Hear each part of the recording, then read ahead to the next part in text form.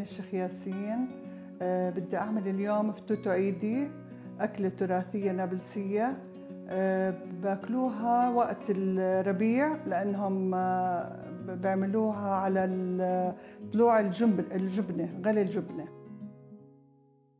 مقادير الفتوتو عيدي أه سبع كاسات طحين ثلاث كاسات زيت زيتون ثلاث معالق أه دقة الكعك آه، معلقة آه، الكركم زائد معلقة صغيرة ملح وثلاث معالق حليب بودر ومعلقة ومعلقتين خميرة.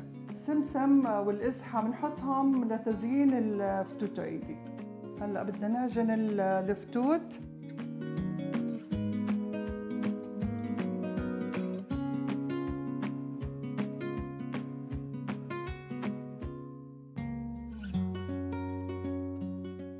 هلا بدي أحط زيت الزيتون وأحركه.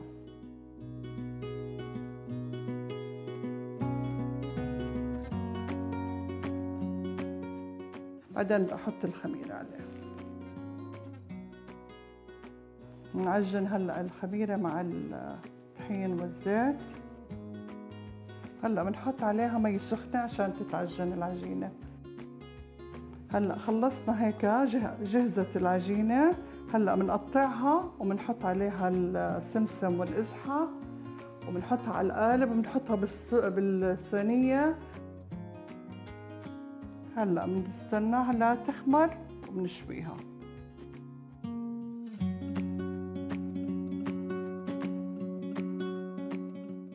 هلا بعد ما خمرت لازم هلا نشويها والفرن يبقى حامي. ثلاث دقايق لخمس دقايق بنحطها بالفرن لا تحمر من القاع بعدين بنحطها بنحمر وجهها.